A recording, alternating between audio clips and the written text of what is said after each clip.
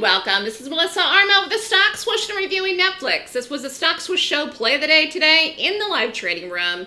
Again, if you were a room member, you would have gotten this trade. So let's take a look at it. Netflix closed the night before at 477.59. Boom, open in the morning at 447. And I watched it. We were aggressive with this. Actually, low of the day was 432.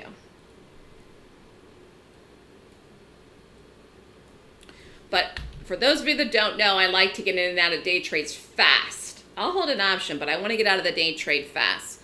So we did it, and we got the drop. And that was it. Literally. Less than 10 minutes we are in and out of that trade. Again, you could have continued holding it longer. And I also did call an option in this too. But it's always a good idea to book money fast. You never know what's going to happen. As it turns out, the market did fall today. Just look here and it fell rather nicely today. I called a put in the QQQs.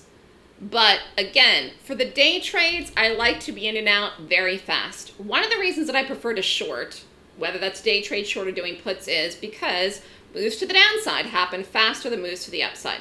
There's no sense of urgency to go long something. There is a sense of urgency when a stock is dropping. Panic's coming into it. Again, I'm looking for institutional money in the gap. So really nice move to the downside here in Netflix today. What happens tomorrow in this, whether it continues, continues, will really depend on the overall market. So we have some data, and then of course we have more earnings. More earnings, it's earnings season.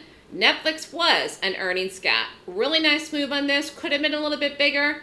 Not going to complain. Money is money. It was a good, solid, fast trade in and out.